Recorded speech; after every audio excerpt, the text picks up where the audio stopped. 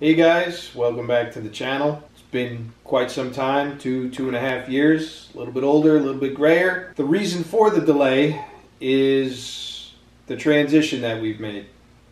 We are no longer in Vermont.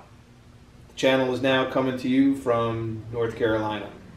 So this video is just kind of touching upon where we've been, why we left, and what made us choose where we are in North Carolina right now. To start with, leaving Vermont was not an easy decision. When we bought the property, we poured our heart and soul into fixing that place up from what it was to what it became. And I truly thought the end of my days would be on that property. That said, COVID came along and changed a lot of things for a lot of people. My wife lost her job, and it was definitely not going to be coming back. Um, as far as I know, we were down here for almost a year already before they had reopened the store that she had worked at. Um, my job at the time was a great job. I worked for the state of Vermont, loved my job. There was already talk of closing down buildings. We're not going to need as many guys anymore. And being as I was one of the last people hired, I felt I was going to be one of the first ones to go. You know, so there was talk of me possibly being able to move up within the state. And after COVID, it was, hey, you may not even have a job. So, with that, coupled with the way Vermont as a whole kind of runs itself, I'm not going to get into it, but let's just say all of my values don't completely align with some of the governing bodies of Vermont. It became a push, and I think the final nail in the coffin was when they talked about me not being able to keep my job, possibly. Uh, we had to make some decisions. That said, we are here in North Carolina now. How did we get here? The first step was my son and now his wife had moved into this area about three or four months before we chose to really pick up sticks and, and get on the road. And he only had great things to say about how the economy was down here, how everything was already up and running again, and the opportunities were tenfold what they were up there. So uh, me and my wife packed up, took a road trip, came down here, and he wasn't lying. I mean, as much as Vermont was peaceful and it had that its quaintness to it, you're also were limited in your abilities to have access to a lot of things.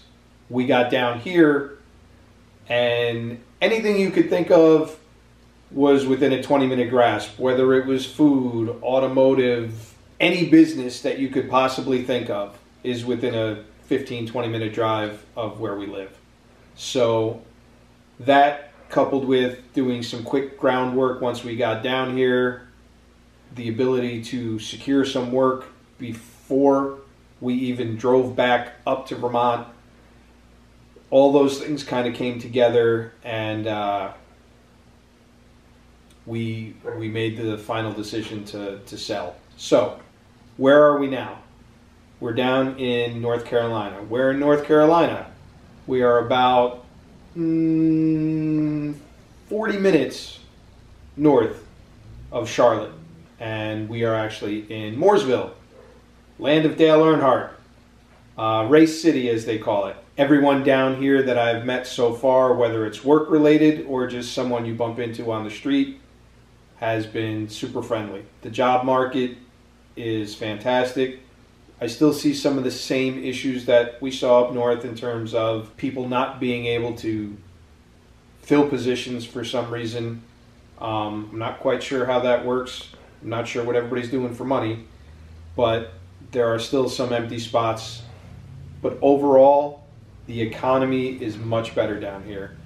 Um, the other take on it was the weather. I didn't mind the snow so much. I grew up my whole life in the Northeast. My wife, on the other hand, spent a good part of her life in Florida growing up. And as much as she loved being up there, was not exactly sad to give up the snow. But we still do have our seasons down here, and that was kind of the limit of how far down south I was willing to go. I can't live and not see the leaves change and not at least have the hint of, you know, maybe some snow. Where we're positioned in North Carolina also gives us the ability that we're two hours from the mountains. And if you go up to the mountains in like the Boone area, it almost looks like you're back in the mountains of Vermont. So that was nice and it was comforting. If you want to drive east, two and a half, three hours, you're on the beach. So North Carolina did have a lot to offer in terms of geography, in terms of the economy, and in terms of part of our family had already come down here. Since then, my other daughter is down here. My other stepdaughter is down here. We are happy with the move. Um, I think it's been a success. There was, what's the word I'm looking for? Obstacles in the actual move that had to be overcome. We had to get past getting everything down here. Uh, my wife and my daughter had all three dogs and a bunch of furniture crammed in their car for the ride down, and then got a call halfway down and said, you know, we still need paperwork signed or we can't close on your house. So we weren't even sure we were going to have a house to get to when we got here. But everything panned out.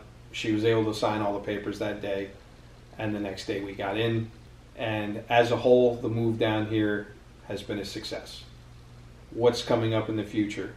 Well, we got a couple things that we've been thinking about. We've had a lot of time. It's been a couple years. A lot of stuff has stayed the same. You'll pan around, you'll see the same Jeep that was in all the videos. You'll see my motorcycle. You'll see a new motorcycle. We want to do some reviews and talk about some stuff about the motorcycle.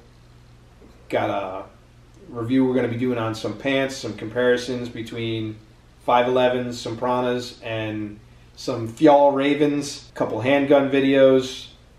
And just because we left Vermont and we left our property, we didn't leave behind the dream of what we wanted with our property. So we're actively and currently still looking for a place to start our new adventure, our new farm. Hopefully, you guys decide to stick around and see where it takes us. I know it's been a while. I appreciate your patience. Cheers.